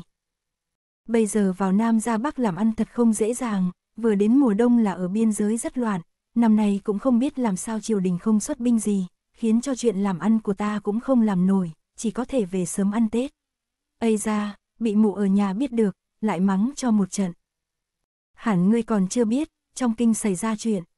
Đúng vậy đó, là Dũng Nghi Hầu. Cũng không đến nỗi tệ như vậy, trên đời đường nào cũng là đường, phương Bắc khó làm ăn, thì đi về phương Nam cũng được. Không có ngoại tộc quấy dày, sản vật còn phì nhiêu, đi một chuyến có thể kiếm không ít tiền. Chúng ta nộp lên trên nhiều thuế như vậy, triều đình cũng coi như đang làm việc, ngươi nhìn xem mấy con quan đạo này nối thông Nam Bắc, nối ngang Đông Tây, đi đất thục cũng chỉ mất mấy ngày, nhiều lắm là đến bên kia thì trèo đèo lội suối khó hơn một chút, nhưng so ra với ngày trước đã thuận tiện hơn không ít rồi. Đi một chuyến, xe ngựa không mệt mỏi như trước, lại có thể tiết kiệm được không ít tiền. Ôi, vừa nhắc tới đất thục này. Các khách thương đều vào Nam ra Bắc, rất nhanh đã bắt chuyện với nhau, ngẫu nhiên cũng có hài tử của hai phu phụ nào đó đưa theo đùa giỡn khóc nháo, trái lại làm cho quán nhỏ này cực kỳ nhộn nhịp. Khương Tuyết Ninh nghe bọn họ thảo luận chuyện triều đình, lại vô thức nhìn sang thẩm chỉ y một chút. Ánh mắt thẩm chỉ y lại rơi ở trên lá trà thô trước mặt. Ngón tay của nàng áp lên thành chén trà thô giáp, qua thật lâu sau mới bưng chén lên, Khương Tuyết Ninh giật mình muốn mở miệng, nhưng còn chưa kịp nói gì, thẩm chỉ y đã nhẹ nhàng nhấp một ngụm nhỏ. Loại trà ở quán nghỉ chân ven đường này đều là dùng bã vụn của lá trà thượng đẳng giữ lại mà pha ra, trong vị nhàn nhạt có chút chát, dư vị cũng không ngọt, trái lại có chút đắng đắng mơ hồ. Thực sự cho dù hai chữ miễn cưỡng cũng không nổi. Vẻ mặt thầm chỉ y có chút ngẩn ngơ. Khương Tuyết Ninh ngắm nhìn nàng ấy, cho đến lúc này mới dám khẳng định, thậm chí y có tâm sự, trên đường đi dường như cũng đang suy nghĩ gì, cho đến khi nhìn thấy nàng cũng không ngưng suy nghĩ. Nhưng lúc này nàng cũng không dám hỏi kỹ. Đang lúc âm thầm suy tư, trên đường cách đó không xa có cát bụi bay lên, là mấy con ngựa kéo một cỗ xe đi về phía này, đầu ngựa của xe ngựa có buộc một giải lụa đỏ tươi đẹp, vừa nhìn đã biết là có chuyện vui. Lấy chồng ở xa đúng là có quy củ như vậy. Nhà chồng phái người tới đón, nhà mẹ đẻ lại đưa người bề trên và quả lễ, đưa khuê nữ nhà mình đi về nhà chồng. Hán tử cường tráng hôm qua từng đi khách điếm thục hương thông báo tin tức kia nhìn quán trà trước mặt, do dự một chút, vừa muốn hỏi trong xe có muốn dừng lại uống ngụm trà rồi hẳn đi tiếp không. Trong ngờ trong quán trà lại có người kêu một tiếng, phương ngâm. Từ đây tới đất thục còn một chặng đường dài, theo như hành trình của bọn họ e rằng phải nửa tháng nữa mới tới được, cho nên hôm nay Vưu Phương Ngâm cũng không mặc giá y, chỉ mặc y phục màu sắc tươi sáng, búi tóc lên cài châm hoa mà thôi. Vừa lúc xuất phủ, còn có chút mất mát. Nhưng vừa nghe thấy tiếng kêu này, nàng ấy bỗng vui lên, lập tức nói với Hàn Thạch Sơn, vậy dừng ở đây đi. Vưu Phương Ngâm đi xuống xe. Khương Tuyết Ninh thì từ trong quán trà ra, thậm chí y cũng theo ngay sau nàng, đi về phía này. Hàn Thạch Sơn chính là hộ vệ nhâm vi trí mới mời về, võ nghệ cao cường, vừa khéo hộ tống Vưu Phương Ngâm đi đất thục, nhất thời thấy hai cô nương xinh đẹp đi tới phía này, không khỏi ngẩn ngơ, có chút không biết như thế nào cho phải. Vưu Phương Ngâm lại là trong nháy mắt nước mắt đã muốn trào ra, ta còn tưởng rằng cô nương không tới tiễn ta nữa. Khương Tuyết Ninh, a một tiếng, dù thế nào cũng là ngày tốt thành hôn, đã trang điểm rồi, ngươi lại còn khóc nhòe đi, biết lấy ai vẽ lại cho. Không phải ta đã tới rồi sao? Thẩm chỉ y ở bên cạnh, nhìn Vưu Phương Ngâm một chút, lại nhìn những người đưa nàng ấy đi đất thục kia một chút. Thế là hỏi, đây là muốn gả đi nơi nào? Lúc này Vưu Phương Ngâm mới chú ý tới bên cạnh Khương Tuyết Ninh còn có người khác, vừa ngừng lên chú ý tới dung mạo của nàng ấy trước, lại thấy vết sẹo của nơi khóe mặt kia, có chút tò mò nhưng có người ở đây nên lại rụt rè. Khương Tuyết Ninh mới nói, đây là nhạc dương trưởng công chúa, trong cung rất chiếu cố ta. Vừa nói tới, nhạc dương trưởng công chúa, Vưu Phương Ngâm đã giật nảy mình. Nhưng sau đó nghe nói nàng ấy rất chiếu cố Khương Tuyết Ninh trong cung, thì vẻ mặt nàng lại thêm mấy phần cảm kích và thân thiết, giống như người nhận chiếu cố không phải Khương Tuyết Ninh, mà là chính nàng ấy vậy. Nàng ấy vội vàng khom người hành lễ, gặp qua trưởng công chúa điện hạ. Những người hộ tống chung quanh kể cả Hàn Thạch Sơn đều giật nảy mình, vốn tưởng rằng đón chủ mẫu tương lai chẳng qua chỉ là một thứ nữ bá phủ, nào ngờ giờ phút này trong những người tới tiễn nàng ấy còn có cả công chúa, cũng không khỏi sinh ra mấy phần e ngại, đồng thời cũng nhìn Vưu Phương Ngâm bằng ánh mắt khác, thầm nghĩ chủ mẫu tương lai là người có bản lĩnh, cũng không thể nhìn bề ngoài nàng ấy mà coi thường được. Thẩm chỉ y nhàn nhạt nói, không cần đa lễ. Lúc này Vưu Phương Ngâm mới có chút nơm nớp lo sợ trả lời, là muốn gả đi đất thục, từ khi ta sinh ra tới nay còn chưa từng đi đâu xa như vậy, nghe nói núi cao đường xa, mới phái nhiều người tới đón như vậy, cộng thêm đường đi đất thục vừa cao vừa nguy hiểm. Thẩm chỉ y lại hoảng hốt một chút, xa như vậy sao? Đúng vậy, rời đi kinh thành cũng không biết còn có thể trở lại hay không. Vưu Phương ngâm nhẹ gật đầu, dường như cũng có một chút lo lắng cùng yêu sầu, nhưng mà sau khi nàng ấy quay đầu lại nhìn kinh thành rộng lớn đang bị tầng tầng mây đen mùa đông bao phủ, gương mặt thanh tú lại ta lỏng ra, lo lắng cùng yêu sầu cũng hóa thành nhẹ nhõm cùng chờ mong. Chẳng qua đi một nơi rất xa rất xa không trở lại đây cũng tốt. Đối với nàng mà nói, bên trong kinh thành này, ngoại trừ nhị cô nương ra, không có người nào, chuyện nào đáng để lưu luyến. Đi thì đi thôi. Cho dù có một ngày nàng ấy trở về, cũng nhất định là trở về vì Khương Tuyết Ninh. Nàng ấy cũng không có bao nhiêu nuối tiếc khi phải rời xa nơi cũ, trái lại tràn ngập thiết tha và chờ mong với một hoàn cảnh sinh sống hoàn toàn mới sắp tới. Cả người từ trong ra ngoài, rực rỡ như sống lại, tỏa ra một vầng hào quang sáng lấp lánh. Chân trời tối tăm mờ mịt, nặng nề như đè xuống mặt đất, cây cối tàn lụi ở núi xa xăm như tầng tầng bóng ma bao phủ, ngẫu nhiên có thể thoáng nhìn thấy mấy bóng quả xám lướt qua không trung, lẩn vào trong rừng. Ngỗng trời đã bay về phương Nam từ lâu. Trên mặt đất là cây cỏ đã tàn lụi, nhưng năm tới, khi gió xuân thổi tới, sẽ lại phủ xanh khắp núi đồi. Ánh mắt thầm chỉ y cũng nhìn theo mảng cỏ trơ trụi kia đi dần về phía xa, đi tới bầu trời âm u một ngạt kia, dường như đã đuổi theo mấy con quả đen đã không còn tăm hơi, không biết hội tụ lại nơi nào. Rời khỏi kinh thành, lấy chồng ở đất thục xa xôi.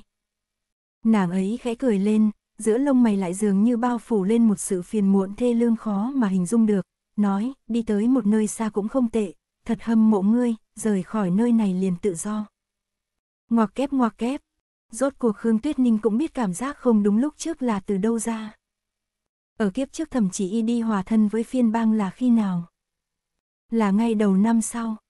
Nàng vốn tưởng rằng vẫn còn mấy tháng nữa, nhưng chẳng lẽ bây giờ thậm chí y đã biết được phần nào rồi. Xa xa, tiếng vó ngựa vọng tới từng hồi.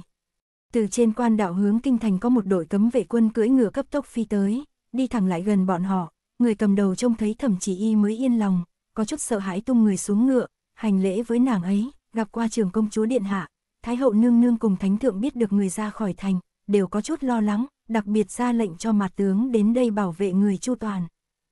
Vẻ mặt thẩm chỉ y liền thêm mấy phần mỏi mệt.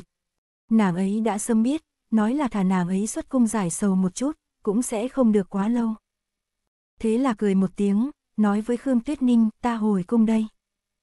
Đáy lòng Khương Tuyết Ninh bỗng nhiên như bị thắt chặt lại, trong nháy mắt đó lại cảm giác thấy trong lòng đau buồn muôn phần, cũng không biết lấy sự can đảm đâu ra, kéo góc áo thầm chỉ y lại, bỗng nhiên không nhịn được sự xúc động trong lòng mà hỏi nàng ấy, điện hạ cũng không muốn ở lại trong cung nữa sao.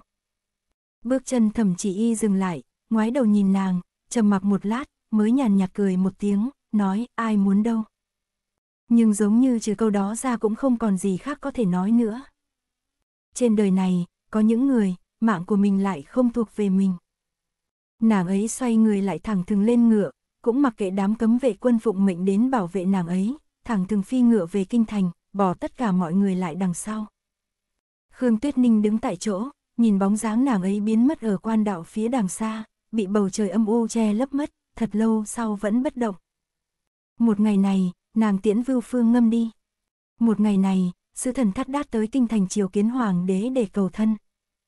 Cũng là một ngày này, một mình nàng dắt hai con ngựa trở về Khương Phủ, liền bị Khương Bá Du gọi đi, nói tam ti hội thẩm đã quyết định, Dũng Nghị Hầu Phủ cấu kết với nghịch đảng Bình Nam Vương, có ý đồ không tốt, nhưng nhiệm mình đã từng lập công vì xã tắc, thánh thượng không đành lòng giết chết, đặc xá miễn tội chết cho tam tộc, gia tài không phải sung công, phế tước vị biếm thành thứ dân, con cháu Yến thị phạt 30 trượng, đày tới Hoàng Châu, không có chiếu lệnh không được tự ý rời khỏi. Ôi, thánh chỉ đã hạ rồi, cũng xem như may mắn trong bất hạnh. chương 112, Nỗi lòng Kênh Holic Audio Biếm thành thư dân, gia sản sung công, đi đầy Hoàng Châu. Còn kiếp trước thì sao?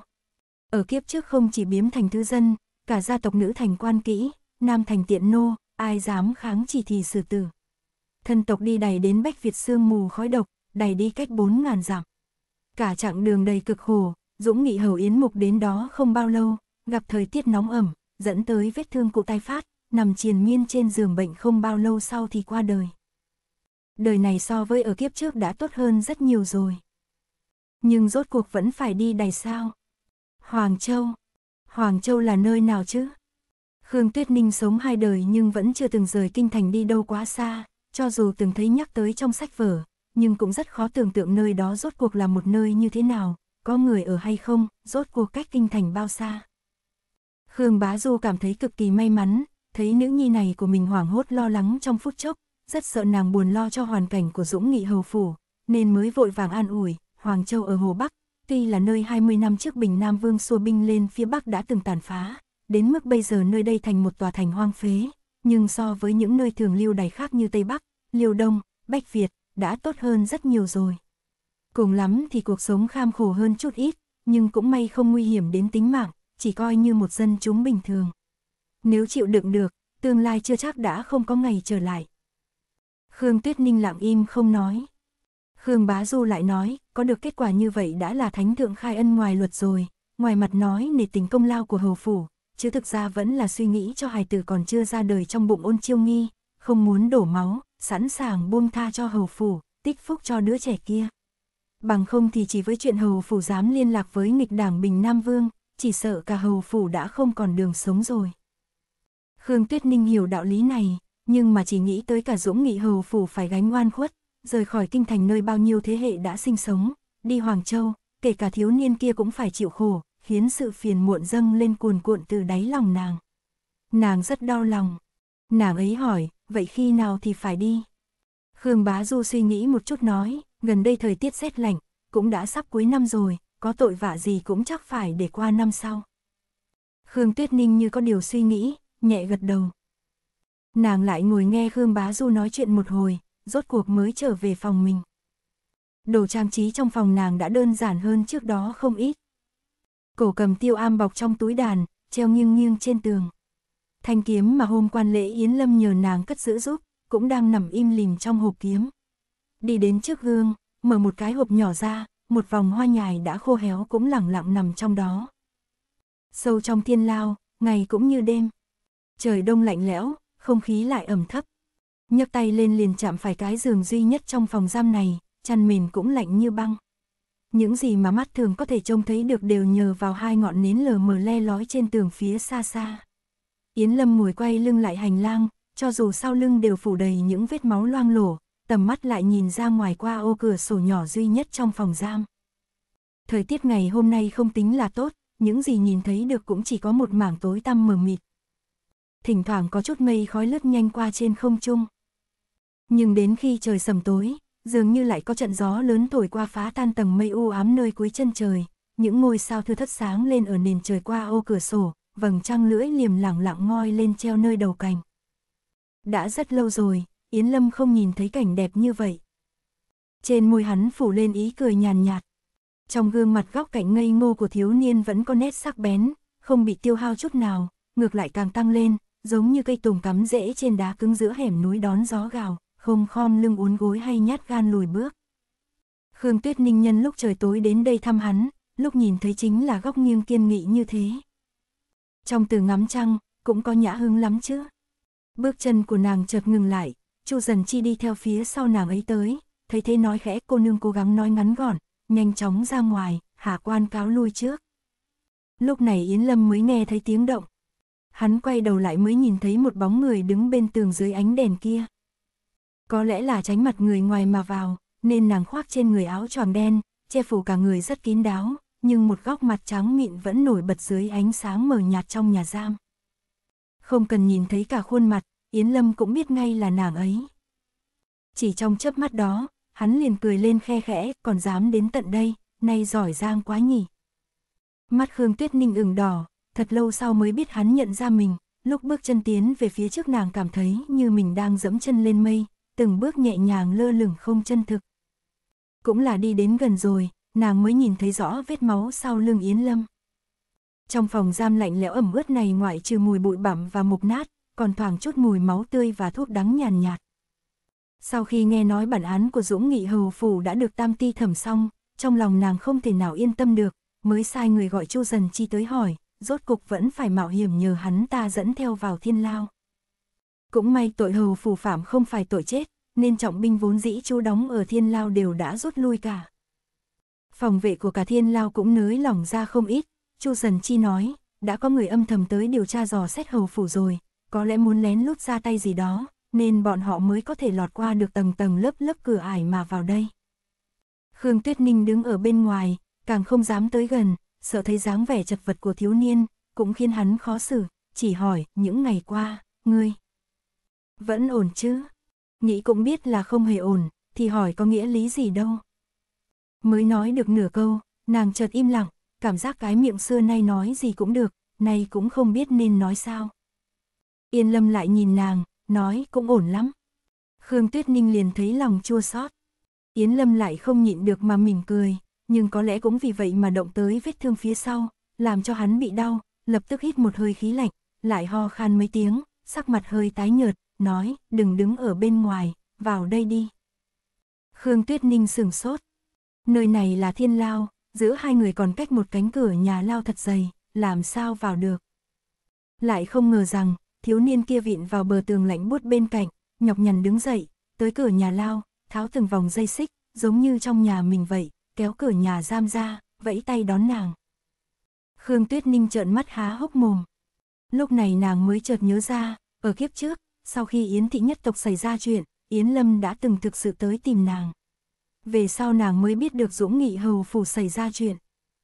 Thử ngẫm lại, tội nặng như vậy, sao Yến Lâm thoát được? Bây giờ, cánh cửa nhà lao lại khóa xích lỏng lẻo như vậy, dường như trong nháy mắt đánh thức lại ký ức kiếp trước của nàng, nhận ra chỗ khác thường, nhìn như bị lưu vong, nhưng lại âm thầm được hưởng tự do như vậy. Tình cảnh của Dũng Nghị Hầu Phủ lúc đó, thực sự kém như những gì mọi người nhận định sao. Dường như Yến Lâm đã đoán ra được nàng đang nghĩ gì, thấy nàng cứ đứng bên ngoài bất động thật lâu, rốt cục không nhịn được vươn tay ra túm nàng vào, nói, nhìn ngươi như vậy liền biết những ngày qua lo lắng sắp điên lên rồi, lại không chịu nghĩ tới hầu phủ chúng ta dù sao cũng là một trong hai đại vọng tộc trong kinh, có căn cơ vững chắc trong triều, còn có một người lanh lợi như ngươi mật báo từ sớm, để chúng ta có thể chuẩn bị sẵn sàng từ sớm, đâu thể thật sự rơi vào cảnh khốn cùng không làm gì được chứ. Khương Tuyết Ninh chớp chớp mắt, vẫn chưa phản ứng kịp. Bị Yến Lâm kéo một cái, nàng không để ý nên bước chân lảo đảo, cũng may Yến Lâm phản ứng nhanh, đỡ lấy nàng, mới không bị ngã sắp xuống. dáng vẻ hơi ngốc ngốc ngơ ngơ của nàng, quả thực khiến Yến Lâm thở dài, nhìn người như vậy, ít lâu nữa ta đi Hoàng Châu rồi, chỉ sợ cũng không yên tâm nổi. Khương Tuyết Ninh nói, ta cũng đâu đến nỗi ngốc như vậy.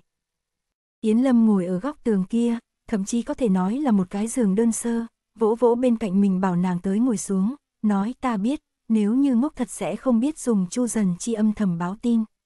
Lần này cũng là hắn giúp ngươi vào đây sao? Khương Tuyết Ninh nhẹ gật đầu. Vì vậy Yến Lâm mới nói, người này dã tâm bừng bừng, có điều cũng không quá đáng ngại.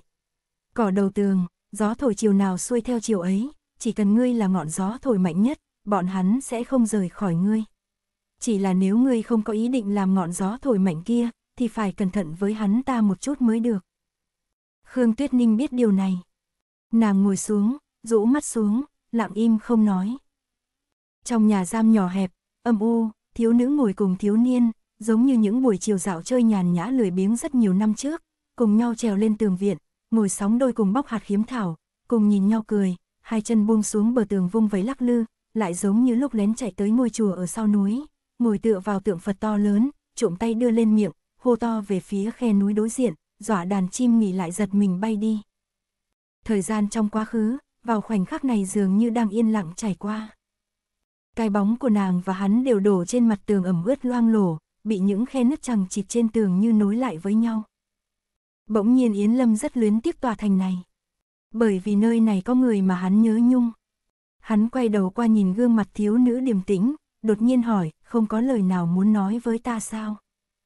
Khương Tuyết Ninh nói, chỉ là muốn tới ở cạnh ngươi thôi. Nói gì cũng không biết, nhưng chỉ ngồi cạnh thế này, dường như đã rất an tâm rồi. Đôi mắt thiếu niên như phủ thêm một tầng xương dày mờ mịt, nở cụ cười liền có phần khiến người ta động lòng, chỉ nói, ngươi tốt với ta như vậy, ta cũng tốt với ngươi không kém, nhưng vì sao ngươi không thích ta? Khương Tuyết Ninh gục đầu xuống, không nói gì. Qua thật lâu sau, trong ánh sáng chập chờn mờ nhạt, giọng nói của nàng mới cất lên, không liên quan tới ngươi. Ta cũng nói rồi, ta là người xấu. Yến Lâm lại vẫn nhìn nàng, không rời đi, là xấu theo nghĩa nào. Ký ức của Khương Tuyết Ninh chợt như sông dài chảy xiết, quay về kiếp trước. Đời này, Yến Lâm thật sự không có chỗ nào không tốt. Chỉ là vết thương khắc vào trong trí nhớ của nàng quá sâu, đến mức dù thế nào cũng không thể xóa được, đành phải tránh xa, lại phải cố hết sức đền bù. Ta đã từng mơ một giấc mơ, trong mơ, ta khờ dại nới với ngươi là ta muốn làm hoàng hậu. Ngươi liền nổi giận, về sau ta làm hoàng hậu, ngươi cũng quay về, sau đó cùng người khác nhốt ta lại, đối xử rất tệ rất tệ với ta. Giọng nói của Khương Tuyết Ninh hơi mờ mịt như sương khói, đoạn trước còn khe khẽ, đoạn sau như dây đàn khẽ run, nhưng rất nhanh sau đó lại ổn định, chỉ là chớp mắt nhìn về phía trước, một giọt nước mắt nóng hổi bỗng chảy dài. Nàng nghĩ, khoảnh khắc này là chính nàng yếu đuối, đưa tay lên lau đi nước mắt, như không có chuyện gì, nàng còn cười, ta là con quỷ nhỏ nhát gan, trong mộng ngươi rất đáng sợ, nên ta mới không thích, vậy còn chưa đủ xấu sao. Rõ ràng nói là trong mộng, nhưng trong nháy mắt kia nước mắt nàng lăn xuống, Yến Lâm lại cảm thấy trái tim mình như thắt lại, thậm chí có phần không thở nổi. Giống như có chuyện gì đó đã thật sự xảy ra vậy. Tại sao trên đời lại có thể có người chỉ vì một giấc mộng mà không thích người khác chứ? Nhưng giờ phút này, hắn không đành lòng truy hỏi, chỉ nói, vậy sao có thể nói là ngươi xấu xa được? Rõ ràng là ta trong giấc mộng của ngươi quá xấu xa, nên mới khiến Ninh Ninh không dám thích ta mà. Giọng nói của thiếu niên quan tâm mà dịu dàng như thế. So với lời nói của nàng, trái lại giống như đang cố tình gây sự. Khương Tuyết Ninh chợt khóc lên, vành mắt đỏ ửng, muốn ngăn lại mà không được, làm cho Yến Lâm bất đắc dĩ đưa tay thay nàng lau nước mắt đi, hỏi nàng, ngươi muốn làm hoàng hậu sao? Trước khi đến Khương Tuyết Ninh đã nghĩ, bất kể ra sao cũng không được khóc. Thế mà lúc nước mắt không kìm được rơi xuống, liền cảm thấy mất mặt. Nàng lui lại, đưa tay áo lên lau lung tung trên mặt, cũng tranh né ánh mắt sáng tỏ của thiếu niên, buồn buồn nói, cũng đã nói là trong mộng rồi, bây giờ không muốn nữa. Nhưng dù sao cũng là hoàng hậu, có ai không muốn làm người trên vạn người, muốn thôi thì có sao. Yến Lâm bật cười, ánh mắt lại sâu thêm mấy phần, hoàng hậu thì có gì mà người trên vạn người. Dưới bầu trời này, người trên vạn người, thực sự chỉ có một thôi. Khương Tuyết Ninh không biết vì cớ gì mà hắn nói ra lời ấy, có chút hoang mang nhìn hắn, thiếu niên lại đưa tay lên nhẹ nhàng xoa xoa đầu nàng, đáy mắt mơ hồ xẹt qua gì đó, không có ai biết, trong lao tù này, ở hoàn cảnh khốn cùng này, một thiếu niên vừa trưởng thành, bỗng lặng lẽ có một tâm nguyện to lớn, nhưng hắn không nói ra với ai cả. Bên ngoài có tiếng gõ mõ. Đêm đã qua giờ tí. Vầng trăng bên ngoài ô cửa sổ tắc vuông kia cũng đã lên tới giữa bầu trời, không nhìn thấy được nữa, chỉ để lại ô vuông vài đốm sáng thưa thất, cùng bầu trời đêm màu mực. Yến Lâm cảm thấy thời gian trôi qua thật sự hơi nhanh, lại nghĩ tới chuyến đi này không biết bao lâu mới có thể trở về, liền hỏi nàng có người thương rồi sao? Khương Tuyết Ninh cúi đầu nói có. Yến Lâm cười hỏi, đó là ai? Khương Tuyết Ninh không lên tiếng, cũng không dám nói. Yến Lâm liền nhớ tới tên quan hình bộ mà hắn từng thấy hôm quan lễ, nói là vị đại nhân hình bộ trương giả kia. Khương Tuyết Ninh lập tức kinh ngạc ngước mắt lên nhìn hắn. Yến Lâm lại có vẻ bình thản, nói, ánh mắt ngươi nhìn hắn, giống như lúc ta nhìn ngươi. Khương Tuyết Ninh không nói gì. Yến Lâm chuyển tầm mắt sang nhìn nàng, dùng giọng điệu nửa đùa nửa thật nói với nàng, trong thời gian ta đi, ngươi phải cố gắng gả mình cho một người đáng tin cậy. Nếu không, chờ ta trở về, không cần biết ngươi có thích ta hay không, ta cũng sẽ giành lấy ngươi. Thiếu niên dùng giọng điệu đùa giỡn, thậm chí còn có ý cười, nhưng trong ánh mắt lại cực kỳ nghiêm túc. Khương Tuyết Ninh biết hắn không nói đùa. Nhưng mà, gả cho trương già sao? Vậy nàng thật sự phải nỗ lực rất nhiều, rất nỗ lực, mới có thể xứng với hắn. Nàng hừ một tiếng khe khẽ, biết rõ thiếu niên nhìn mình có phần trêu đùa, cũng không chịu thua, chỉ nói ta sẽ làm như vậy. Vũ ta cần người giúp edit, vì một mình ta có hơi khó khăn nổi, bạn đọc nào có thể giúp một tay, xin để lại men hoặc mail nha, ta sẽ chủ động liên lạc. Đa tạ. Phần này đến đây là hết. Mời các bạn theo dõi tiếp các video khác trên kênh. Nếu các bạn yêu thích kênh, hãy nhấn theo dõi nhé. Cảm ơn các bạn.